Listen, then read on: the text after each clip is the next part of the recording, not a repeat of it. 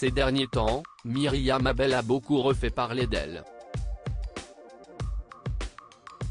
Si l'ancienne gagnante de Nouvelle Star en 2005 poursuit toujours une carrière dans la musique, si est plutôt son apparence physique qui suscite de l'attention?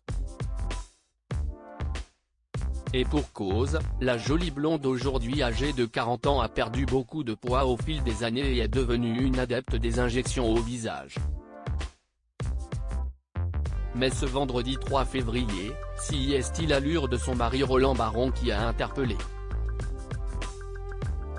Le musicien qui partage la vie de Myriam Abel depuis de longues années a en effet à son tour changé physiquement. Aux dernières nouvelles, il arborait de longues dreadlocks, comme lorsqu'il a accompagné sa moitié sur le plateau de Jordan de Luxe au mois de septembre 2022. Sur le compte Instagram de Myriam Abel, ces photos prouvent également que, jusqu'à la toute fin du mois de décembre au moins, il les portait encore. Mais ce look est désormais de l'histoire ancienne.